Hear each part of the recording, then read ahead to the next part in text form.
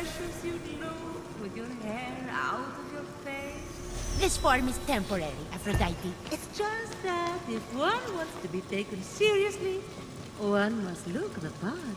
Looks don't do that. The mind does. Of course, of course. Your mind specifically can accomplish wonders, the big old thing. Well, thanks. But the face is the window to the soul, or, or something. If you feel powerful, you are powerful. I guess that's true. Let me teach you to braid your hair. It'll change your life. That could be fun. Perfect. Then we're getting Hephaestus to invent the lawnmower so we can tackle those brows.